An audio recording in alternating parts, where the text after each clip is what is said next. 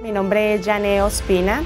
Estoy muy agradecida con Luis Fallas y con el Centro de Superación Personal porque han ayudado a transformar mi vida en todos los niveles. Cuando conocí a Luis Fallas era una persona que tenía la autoestima muy baja y además tenía una mentalidad de pobreza. Lo más lindo es que él siempre está pensando que salgamos adelante, que creamos más en nosotros, asistiendo a todos estos talleres que hace el Centro de Superación Personal, donde he aprendido a dejar esa mentalidad de empleada. Ahora ya tengo mi propio negocio.